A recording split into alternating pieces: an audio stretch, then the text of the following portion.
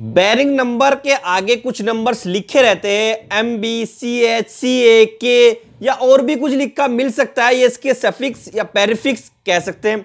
ये बहुत सारे टाइप्स होते हैं, कुछ केज को बताते हैं, कुछ उसके आउटर रिंग के स्पेसिफिकेशंस को बताते हैं, कुछ इनर रिंग्स को बताते हैं, और कुछ उसकी जो मेट्रोलॉजी यानी कि मटेरियल और उसमें लुब्रिकेशन किस तरह से होता है ये सब बताते हैं इसमें चार ग्रुप्स होते हैं। इन चार ग्रुप्स में आज हम एक ग्रुप की बात करेंगे। ये चार ग्रुप हमारे होते हैं, एक आउटर रिंग को बताता है, दूसरा इनर रिंग के स्पेसिफिकेशंस को बताता है, तीसरा केज को बताता है, और चौथा उसके मटेरियल को बताता है। तो इनमें से सिर्फ़ आज इस केज की बात करेंगे, यानी कि केज के स्पेसिफिकेशंस जो लिखे रहते हैं, उनका क्या क्या मतलब होता है, आइएगा वो देखेंगे। सबसे पहले बात कर लेते हैं, कहीं पर लिखा रहता है एम या फिर एम ए एम बी कहीं पे T N T N nine या फिर अदर भी कुछ लिखा मिल सकता है। ये सारे केज के स्पेसिफिकेशन से इनका मतलब क्या होता है ये वो समझते हैं।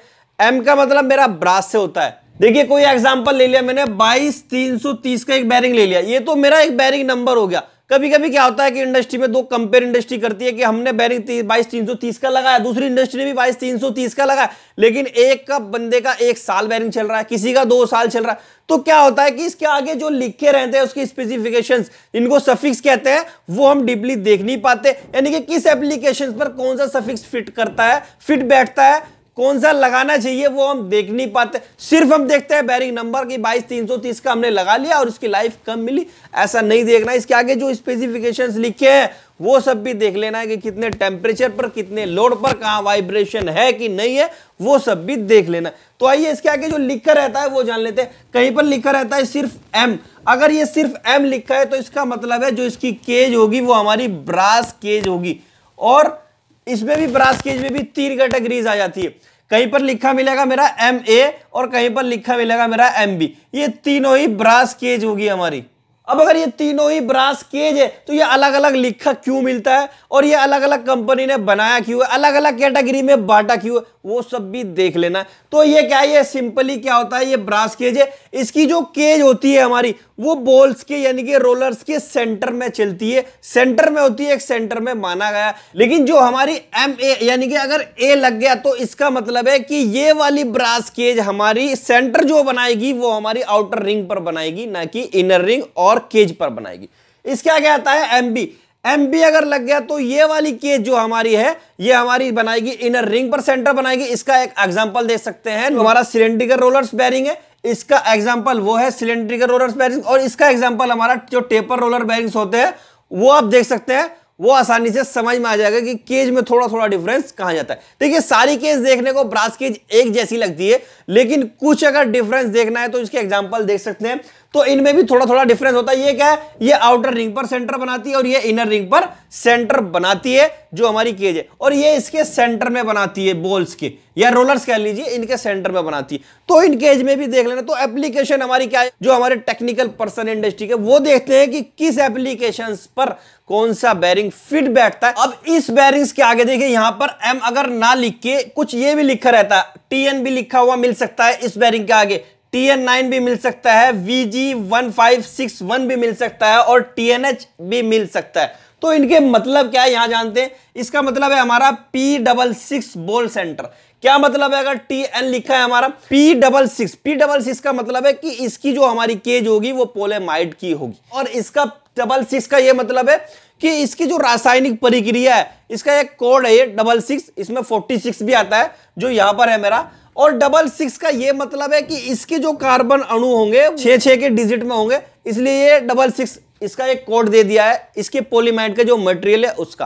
क्योंकि मटेरियल में भी मटेरियलॉजी कितनी स्ट्रांग होती है, कितने टेम्परेचर पर काम करती है, कितने प्रेशर पर काम करती है, ये सब मेट्रोलॉजी काम करती है, इसलिए इसके कोडिंग दे देते हैं डबल सिक्स और यहाँ पर दे दिया है फोर्टी सिक्स तो ये पीए का मतलब क्या है?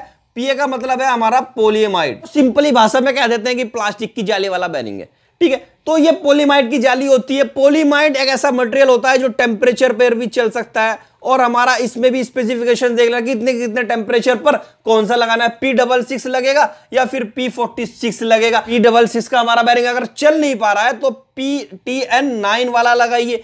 टीएन नाइन और टीएन देखिए दोनों के रेट्स भी डिफरेंस है। आपको देख लेना है, सिर्फ़ बैरिंग नंबर बाईस, तीन सौ तीस देखकर नहीं परचेज करना है, ये भी देख लेना है। या फिर इस एप्लीकेशन पर नहीं लगाना है कि सिर्फ़ बाईस, तीन सौ तीस का बैरिंग लगा लेना है, ये भी देख लेना है कि हमें केज कौन से स्पेसिफिकेशन पर लगानी है। क्योंकि आगे जो नंबर्स लिखे हैं, वो कंपनी ऐसे ही नहीं लिखती, उनके पूरे अपने एक मतलब होते हैं। तो बता रहे थे कि टीएन का मतलब है हमारा पी डबल सिक्स ये बोल सेंटर में होता है। टी एन नाइन इसका मतलब है ग्लास फाइबर रेन ये ग्लास फाइबर्स आता है हमारा पोलीमाइड के अंदर ही। पोलीमाइड भी हमारी कई कैटेगरीज में बट गया ये तो सिंपली पोलीमाइड है, लेकिन ग्लास फाइबर के कुछ स्पेसिफिकेशंस बढ़ जाते हैं। और स्पेसिफिकेशन बढ़ने के बाद इसका कोड रख दिया हमने, यानी कि इसका सफिक्स रख दिया हमने टी एन नाइन इसी तरह V G one five six one का भी रेन में होता है हमारा जो ग्लास फाइबर होंगे, लेकिन इसका हमारा पी फोर्टी सिक्स के अंदर आ जाता है, यानी कि इसकी रासायनिक प्रक्रिया कुछ अलग हो जाती है पोलीमाइट की। इसी तरह हमारा ग्रास फाइबर रेनपोर्ट ये हमारा पी डबल ई के ये हमारा कोड होता है इसका पी डबल ई के इसका जिस तरह 46 है 66 है, इसका पी डबल ई के यानी कि इसकी रासायनिक प्रक्रिया कुछ अलग होती है टी एन एच की। इसी तरह इनके, यानी कि ये वाले स्पेसिफिकेशंस हमारे पोलीमाइड की जो केज होती है, उसको दर्शाते हैं। और ये वाले एम वाले हमारे जो है ब्रास को। ब्रास में भी कई कैटेगरीज आती है पोलीमाइड में भी कई कैटेगरीज आती है। इसी तरह अगर हमारा कहीं पर यहाँ पर जे लिखा मिल गया तो ये जे हमारा स्टील केज को शो करेगा।